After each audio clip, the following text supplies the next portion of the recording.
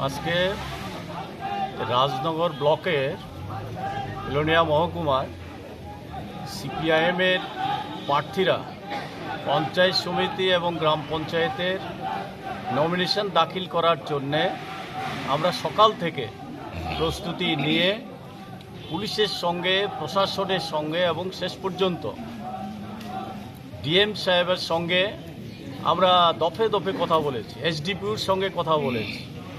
যে আমরা আজকে নমিনেশন দাখিল করব, রাজনগর পঞ্চায়েত সমিতির এবং গ্রাম পঞ্চায়েত। এই অবস্থায় বিজেপি দুর্বৃত্তরা রাজনগর স্কুলের সামনে আমরা যে রাস্তা দিয়ে যাব, সেখানে অন্তত সদেরেক দুর্বৃত্তরা একত্রিত হয়ে, জমায়েত হয়ে আছে। পুলিশকে বারবার বলার পরেও তাদের সম্পর্কে কোনো ব্যবস্থা গ্রহণ করেনি। শেষ পর্যন্ত পুলিশ বলেছে, আপনারা আসুন, আমরা আছি। কিন্তু পুলিশের সামনেই, আমরা স্কুলের সামনে যাওয়ার পরেই ইট পাটকেল ছোড়া আরম্ভ করে এবং দৈহিকভাবে আক্রমণ আরম্ভ করে। আমার বুকে ইট পড়েছে। অমৃতলাল দাস, আমাদের পার্টির ডিসিএম, তার জামা ছিঁড়ে ফেলেছে। আমাদের মহিলাদের উপরে ইট, বুতল, লাঠি ছোড়া মেরেছে। এই অবস্থায় পুলিশের সামনেই আমরা বাধাপ্রাপ্ত হয়ে এখন রাস্তায় বসে আছি। আমরা ডিএমকে বলেছি, এসডিপিউকে বলেছি যে আমরা নমিনেশন দাখিল করতে চাই, আমাদেরকে সে ব্যবস্থা করুন। এখন পর্যন্ত করেনি। এটার মূল কারণেই হচ্ছে এই যে দুর্নীতির আখড়া বানিয়েছে পঞ্চায়েতগুলি।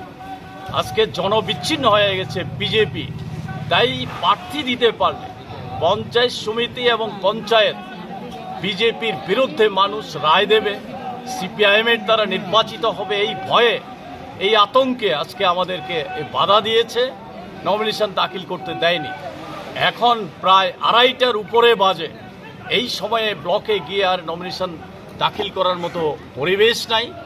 আমরা দাবি করছি, আক্রমণ করতে যারা এসেছিল দুর্বৃত্তরা, তাদের যেন অবিলম্বে গ্রেপ্তার করা হয়, শাস্তির ব্যবস্থা করা হয় দাবি করছি।